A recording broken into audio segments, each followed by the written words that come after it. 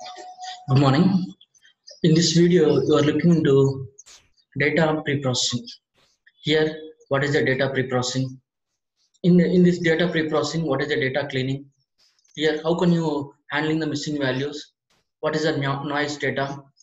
Uh, how, how can you remove the noise data from the data? And then what is the data integration? What are the steps in data integration? And then mathematical approach.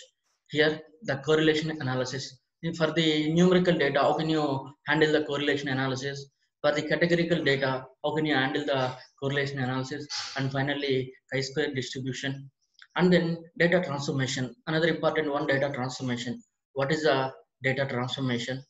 And then in, in this data transformation, you are you are using some of the methods, data smoothing, aggregation, normalization, and then generalization, like that. And then another one here is a data reduction. Here we have a some techniques are there for um, handling the data reduction. Here, what is the data reduction?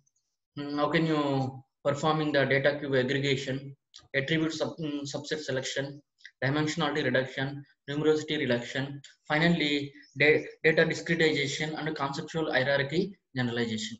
Here, this is a our agenda, today's agenda. Here comes to the first, uh, you have to know about the what is the data pre-processing. Here, data pre-processing.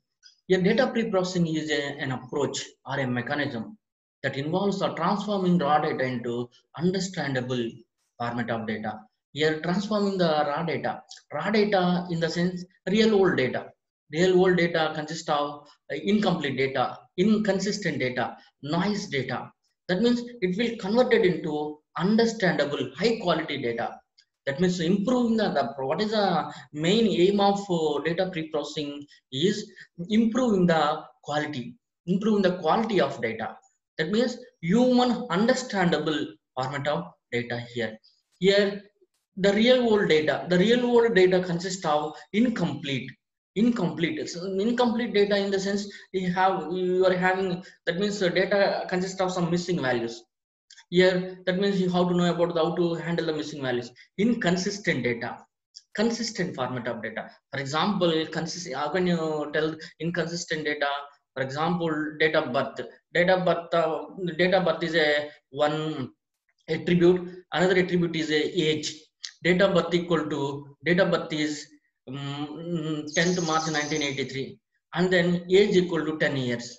That means it is if it is called here inconsistent data. There is a um, inconsistentness, noisy data.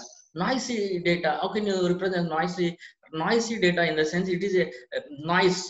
Noise is a variance, error, error, error, error. For example, salary equal to minus 2000 or salary equal to minus 2 2 rupees that means that indicates that that's not a that is impossible cases here. That is a noisy data here. Another important kind of data here redundant data here. Redundant values. That means in our data repeated number of uh, records are there. Repeated number of that means missing values. Some kind of information missed. That means missing value in the sense for example attribute salary not displayed on the board dirty data and then uh, locking in certain that is a different kinds of data real world data here. Data pre-processing used in database driven applications such as customer relationship management and rule based application.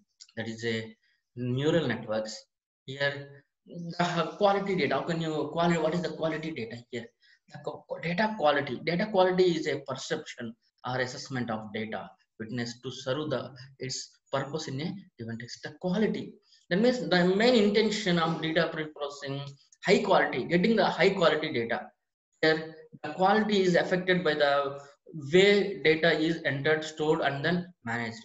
Here we have a quality a characteristics are there. Accuracy depends uh, satisfy. That means if you require quality, you should satisfy the accuracy, completeness, consistent, and then high availability and then like that these are all different factors for the um, quality of data and then what is the need of data pre-processing what is the need here here what is the necessity uh, you are perform the pre-processing.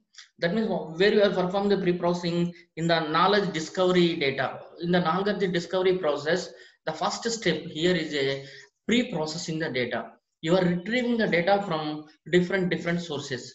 N number of sources uh, data from the databases from the flat files that means you are retrieving the data from the different sources and then integrate one place here. Before that you have to perform in the uh, pre-processing data pre-processing. Low quality data leads to mm, some yeah if you have the low quality